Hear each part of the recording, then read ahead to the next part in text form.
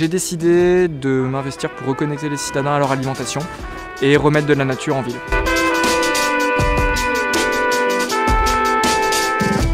Moi, je m'appelle Sébastien Giraud, j'ai 26 ans et je suis le fondateur d'Oasis Citadine. Alors, mon initiative, c'est de fonder Oasis Citadine. Donc, le but, c'est de comment on peut reconnecter les citadins avec l'agriculture et avec l'alimentation et comment on peut revégétaliser les villes en créant en milieu urbain des fermes où des particuliers peuvent venir cultiver leurs propres fruits et légumes et venir apprendre à cultiver, s'initier à la permaculture et venir vivre une expérience collective collaborative pour transformer la ville et leur permettre de, bah, se réapproprier leur alimentation.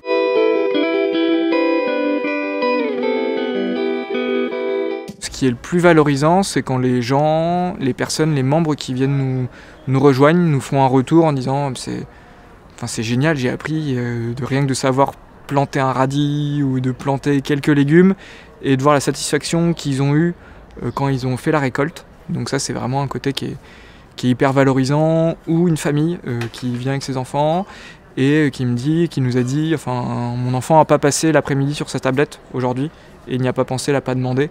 Enfin, nous, c'était un petit truc qui, qui est super positif parce que c'est vrai que si les gens, les, toute notre société on, on a des défauts, on est beaucoup sur l'ordinateur, beaucoup connecté à des écrans, etc. Mais c'est parce qu'aussi on n'a pas l'alternative de pouvoir faire autre chose et que les gens ils peuvent pas aller dans la nature, ils peuvent pas aller en forêt, ils sont, pas, en ville donc ils, font avec ce qu'on leur donne. Et si on leur donne autre chose, ben, on montre qu'ils s'occupent avec autre chose et ils pensent pas à, tous ces éléments, tout numérique et connectés qu'on a.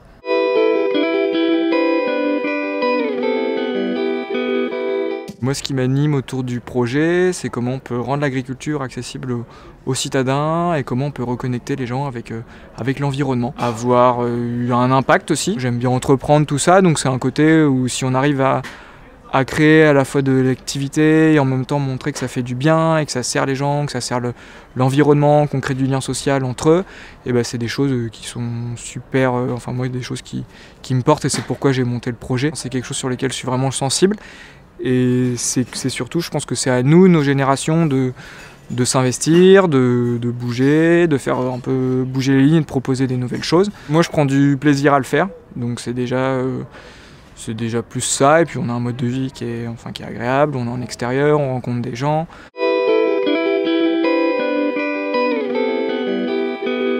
Bah déjà, moi, c'est par rapport à l'alimentation. C'est quand j'ai vu le chiffre, de se dire que c'était à peu près 30% de nos émissions de gaz à effet de serre qui étaient euh, liés à notre mode de, alimentaire, à nos, systèmes alimentaires. Donc ça c'est un déclic important. Et après bah, c'est au quotidien de voir que enfin, les enfants savent plus toujours reconnaître euh, enfin, les fruits et légumes, qu'ils savent plus les nommer.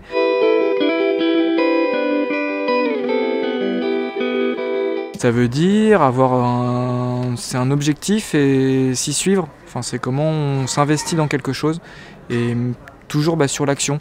C'est comment, si on est engagé, c'est-à-dire qu'on met en place des actions pour arriver à son objectif et on s'y tient. Et c'est aussi de la rigueur. Donc quelqu'un qui est engagé, c'est quelqu'un qui, est, qui, bah, va être rigoureux dans là où il veut aller, sur la manière d'y aller.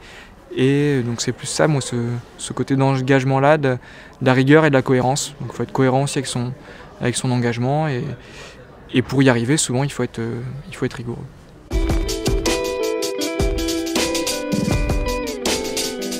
Bah, Moi, c'est de pas avoir peur aussi. C'est que des fois, souvent, les gens, c'est d'y aller et on voit où ça nous mène. Et puis, c'est de ne pas avoir peur. Enfin, c'est pas avoir de crainte et de que des fois on se met nos propres barrières et les barrières c'est juste des, peurs. Qu'il n'ait pas peur et qu'il ose, peut-être qu'il ose.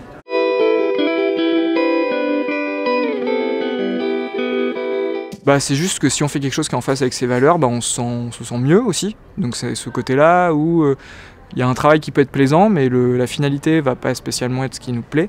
Et si on arrive à faire quelque chose de tout bête, mais si on a des choses qui ont nos valeurs et qu'on travaille pour euh, nos valeurs, et ben on est en harmonie aussi avec eux. Donc c'est une cohérence qu'on a comme ça. Et c'est dur à dire, mais c'est juste du... après on est mieux peut-être aussi euh, à, titre, personnel. Donc euh, juste être en cohérence avec avec ses valeurs.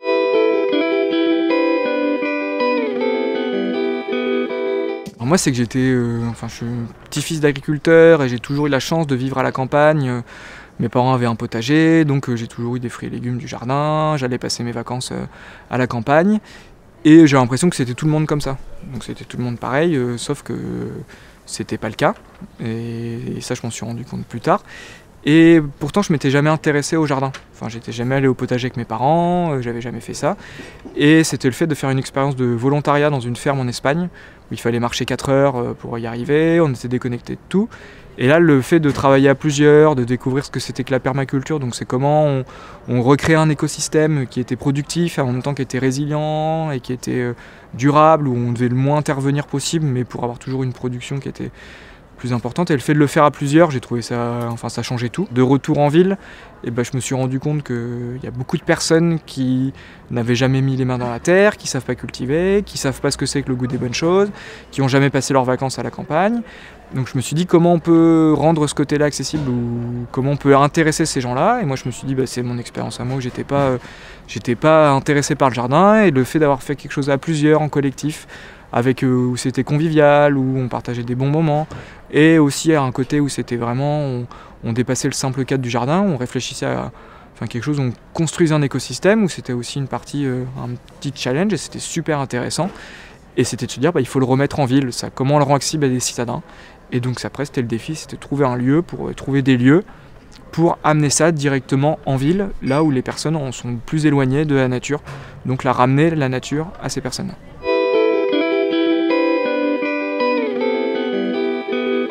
Bah, je pense que déjà on peut développer pas mal de fermes. C'est vrai que nous on a avec peu, avec, euh, enfin avec euh, on va dire 15 000, 20 000 euros, on a réussi à créer un lieu.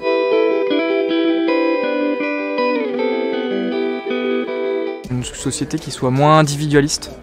Donc les gens sont plus euh, enfin, sur ce qui doit tous nous relier normalement et c'est sur des choses plus, plus humaines où, on a du contact avec les gens, on a du contact avec, avec son environnement et on se sent tous mieux.